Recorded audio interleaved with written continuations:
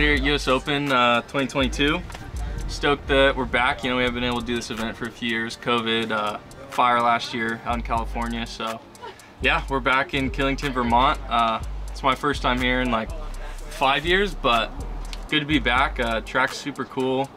We just finished up the second day of practice and it's it's running good. It's really flowy, a little technical, so kind of tricky, but it's it's a blast. It's a lot of fun. So tomorrow we have qualifying, should be pretty good, and then finals on Sunday. Looking forward to it.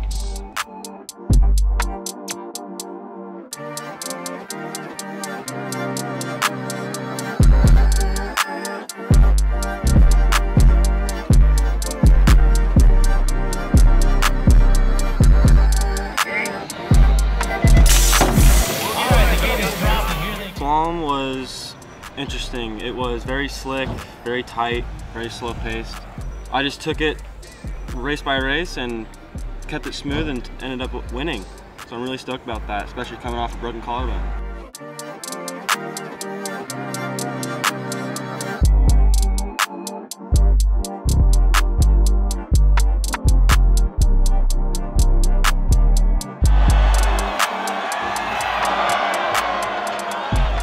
Unfortunately, at the beginning of the week, I went through a really horrible kidney infection. I'm still dealing with that kidney infection. Um, my body just feels like it can't keep up. My mind really wants it, but um, I'm gonna try my hardest, put my best foot forward. I gotta dig deep.